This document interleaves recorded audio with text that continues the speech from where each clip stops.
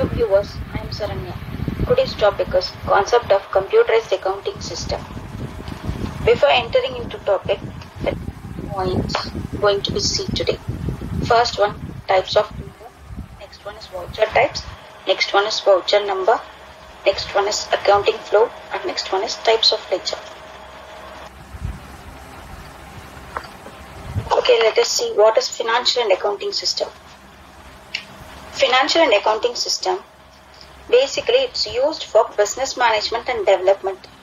It is a ba- backbone for business.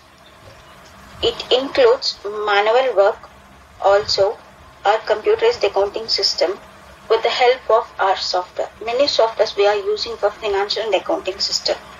If you see means basically we are using tally for all the companies, not only for specific companies. In all the companies we are using tally. Apart from that, if you see in BPOs and in IT sector, they are using SAP as a software for financial accounting system.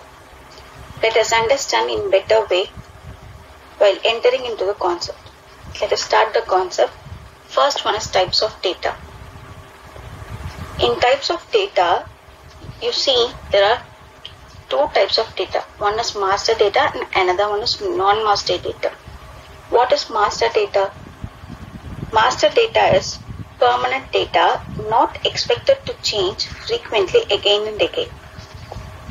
The next one is see means non-master data. In non-master data, it is not a permanent data. It can change frequently. At any time we can change. This is non-master data. Let us see in detail how masters and non-master data are accessing in computerized and financial accounting system. Master data is classified into four sections. First one is accounting master data. What is accounting master data? The master data which belongs to accounting section is placed in this accounting master data. And next one is inventory master data. The things which belongs to inventory. That means it totally stock oriented information are maintained in this inventory master data. And next one is payroll master data. What are the details maintained in payroll sections which could not be changed that is frequently not able to change Thus, that type of data is maintained in this payroll master data. Next one is statutory master data. In this data, it includes the stat, the statute and law relating informations. These are the data maintained in this master data. For clear information, let us see what is master and non-masters in each and every master data. Here, accounting master data. I have classified what is master and non-master data in accounting section. Let us see before that accounting master data. Basically, the master data once created is not expected to change frequently. That is master data. In accounting data, once the accounting informations are placed, it should not change frequently. That is accounting master data. Here, we are what are all the things we are mentioning as accounting master data is the ledgers which we are created that things are master data. For example, if you see ledgers like capital, purchases, sales, cost centers, then voucher types, these are all once placed, we should not able to change this. So that is master data. And next one is non-master data. What is non-master data means? The ledgers once created are fixed in master data. In non-master data for that ledger, we have to record the transaction amount the transaction amount may change according to the transaction. According in each and every month, in each and every day, day by day transaction will occur in different manner in different types. In that situation, the amount will vary according to that situation.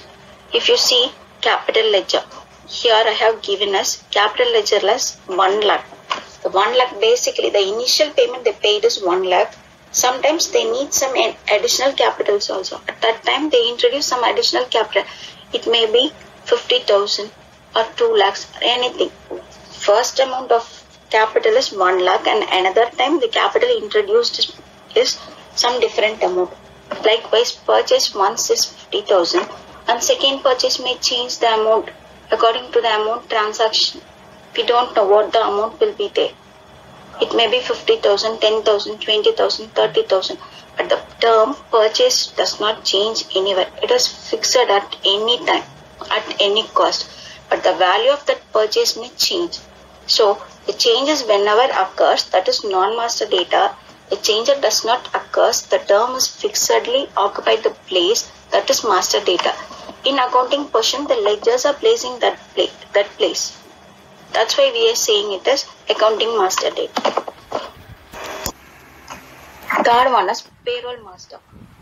In payroll master, the salary calculation and attendance are maintained in master data section. That is, systematic process of calculating salary and attendance will take part in master data. That is, salary structure is permanent in each and every organization. They allot some percentage for each and every section that does not change for every employee. For all employees, they are maintaining attendance details also. Apart from that, they maintain their employees' personal profile details, which is related to that payroll department. That that things all fixed in master data. We won't change that thing. When compared to non-masters, as said before, amount recorded in each transaction change again and again. This take part in all master data, all non-master data. For example, already I said in master data, salary structure is permanent. That is example we mentioned this master data. In ma- uh, non-master data, come to same salary section. In salary section, if you see means salary in the month of Jan- January, they received sum of amount 50,000 as salary. In February, they have received sum of amount rupees 45,000 as sa- salary. There may be some any loss of pay or otherwise any taxes or otherwise any deductions may take part in their salary. But salary is fixed term. We won't change that. 50,000 and 45,000 both are different when compared to both the items. So that we are saying the amount is non-master data. Statutory master. In statutory master, in master data, if you refer means master data relating to law which are said to be as statutory master data. We are what are all the things we are including in this master data? If you see means GST, TDS and different types of taxes. These are all take part in master's data. When it compared to non-master data, if you see means GST, in each and every year the GST council will take part. In case any changes occur in GST, they will mention in that council. We have to implement the changes that may be tax rates or uh, and any other kinds of forms. They introduce any new forms or any other characters categories introduced. These are all take part in our non-master data. According to that, we can, if we need, we can change it in master data. Otherwise, we won't change in master data. In non-master data, the tax rates may vary.